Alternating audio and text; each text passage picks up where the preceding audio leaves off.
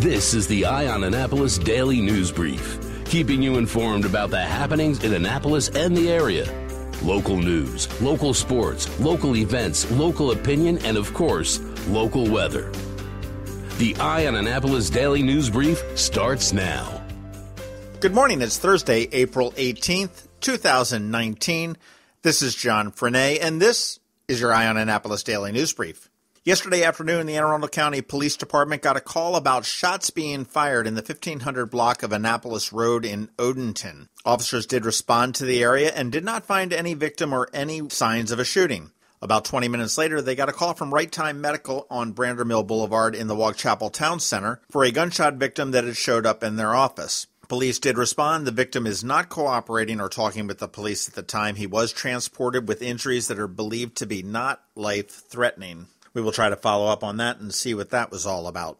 If you were stuck in that four and a half mile backup on the Bay Bridge westbound yesterday afternoon, found out what that was. That was the Kent Island Volunteer Fire Department was responding to a person who was threatening to jump off of the bridge. All three westbound lanes were closed at about three o'clock and opened again at about 4:30, so that was about 90 minutes, causing nearly a five mile backup. The Anne Arundel County Fire Department was brought in to help them with a high angle rescue, and the person that was threatening to jump was indeed rescued. So that is good news there.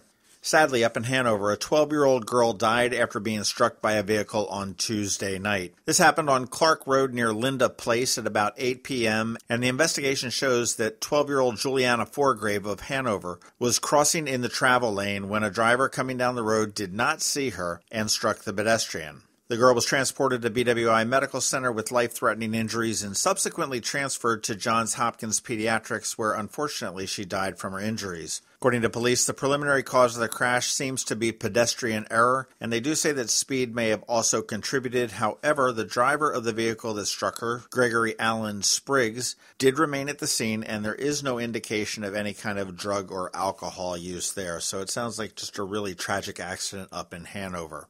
Thinking about getting married? I might have a deal for you. Now through April 30th, the Blackwall Barn and Lodge, which is sort of the Blackwall Hitch's cousin up in Gambrills, is accepting entries for a dream wedding package valued at, get this, $20,000. That package giveaway will include the venue, food, flowers, cake, entertainment, photography, and videography, all for you. All you need to do is create a 60 second video about why you should win. And once submitted, it will be up for public voting from May 6th through June 3rd. And the couple with the most votes will win the prize package. Purely simple. You could probably stuff the ballot box there a little bit. There is a catch. The wedding date has to be November 23rd of 2019. So you've got to be getting married pretty close. And I will say that is the Saturday before Thanksgiving. So holidays do play into factor there. But hey, for $20,000, the venue and food is going to be provided by Blackwall Barn and Lodge, flowers by Little House of Flowers, cake by Whipped Cakes of Annapolis, entertainment by C and J Entertainment, photography by Hamilton Photography, and videography by Abby Doodle Productions. Get all of your information and enter the contest at barnandlodge.com.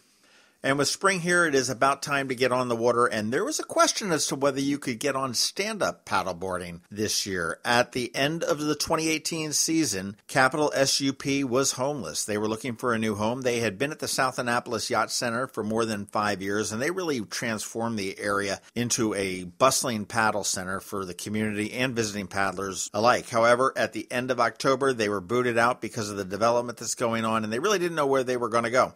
Enter the Annapolis Maritime Museum and Park. Owners of Capital Sup, Chris Norman and Kevin Hages, had spoken with the Annapolis Maritime Museum and Park, and they finally struck a deal to partner with their education centers so they could continue their passion for getting people out on the water while educating them on the importance of restoration and clean water. The new location at the museum's Ellen O. Moyer Nature Park will be able to house all of their services. It's going to be located in the old boathouse, which is right near the border of the Bert Jabin Yacht Yard. And they do have some work to do to get it in ship shape, but Haggis assures us that it will be open for business before the start of the paddling season.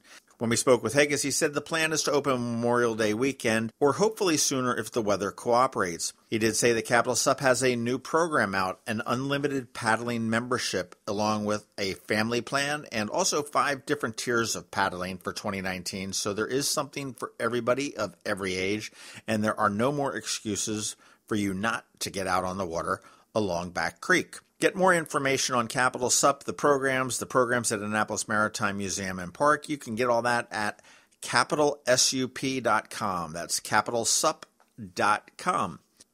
All right, that is about it for the top news today. Please make sure you check out that first link in our show notes for all the different ways that you can connect with us. If you're someplace that you can give us a recommendation or a review, please do that. And of course, recommend us to your friends and family and colleagues. I would appreciate that. And of course, it is Thursday, so we have Trevor with your Annapolis Makerspace Maker Minutes. Now you just need to hang tight. We've got George Young with your local DMV weather forecast coming up in just a minute. But first, I need to tell you something about my favorite geeks from Severna Park.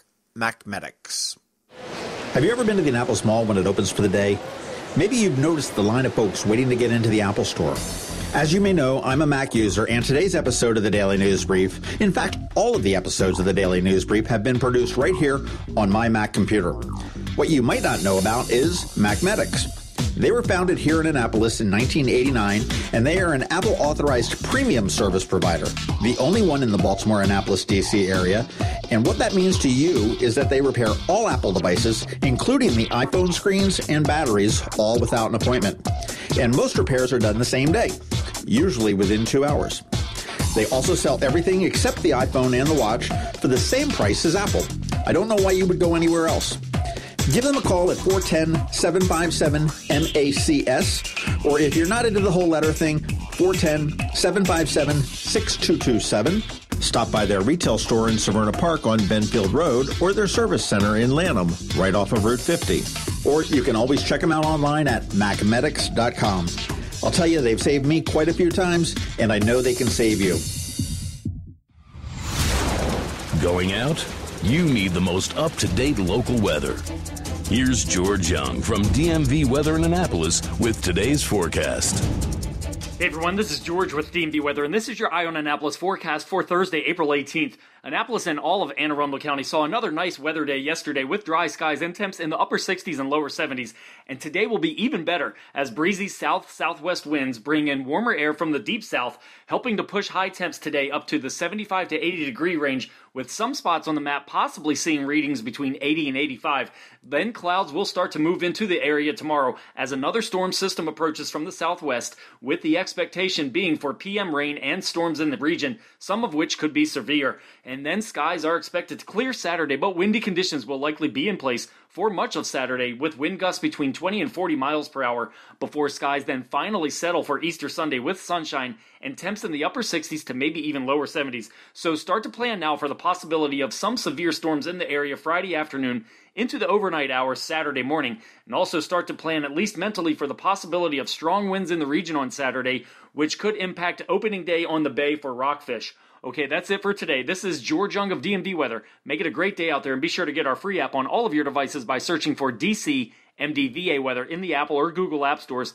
And also follow us on Facebook and Twitter and on our website at dmvweather.com so you can always stay weather informed. Join Anne Arundel Medical Center Foundation on Saturday, April 27, 2019, at our Denim and Diamonds Bash in Annapolis. Denim and Diamonds is a fun evening under the stars, featuring fabulous cuisine and gourmet food trucks, live and silent auction, and a live band. Last year, AAMC cared for more than 2,000 patients in our emergency departments suffering from mental illness or addiction. Help us expand much needed inpatient and outpatient programs and services for your community. For tickets and sponsorships, sponsorships, visit AAMCDenimandDiamonds.org. Special thanks to our platinum sponsors AAMC medical staff, the Chesapeake Bayhawks, Comcast, the Evan K. Thallenberg family, What's Up Media, and WRNR. Every week, makers, crafters, and educators hold events all over the area. Highlighting some of those, here's our Makers Minute, brought to you by Annapolis Makerspace. Hey, this is Trevor from Annapolis Makerspace with this week's Maker Minutes. Saturday down at London Town Gardens, they're having their spring plant sale. Their annual plant sale returns featuring an emphasis on plants found in London Town's horticultural collections. Also, don't forget that all through April, London Town Gardens is running their Escape London Town Ferguson Tavern escape room. This week at Art Farm in Annapolis, at their new location off of Chinquapin Round Road. Sunday is the Clown School at Art Farm, and there's still a few more classes left in their spring session. Thursdays, they have cartooning for ages 11 through 15. Mondays, they have sketchbooking for ages 11 through 15. Tuesdays, they have art discovery for ages 5 through 7. And Wednesdays, they have mixed media art for ages 8 through 11.